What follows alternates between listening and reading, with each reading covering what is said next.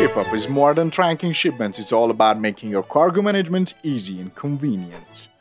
After tracking a shipment, in your shipment list, you can find a rename option among three other options. By clicking on rename, you can give your shipment the name you want. In that case, you will have a list of all your shipments with your given names.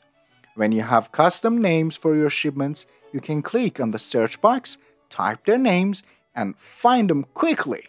You won't have to scroll the list anymore. The great point is email notifications will be sent to you with your given names to help you recognize what has happened to which shipment quickly and also it makes your inbox neat and organized. You can also archive your shipments to keep the list organized. All shipments can be archived by simply clicking on Archive. They will be always available with all Latin uploaded files in the archived list. An organized shipment list and a clean inbox brings convenience and simplicity to your cargo management experience. ShipUp is online and ready to help you 24 7 Chat with our online support if you have any questions or problems.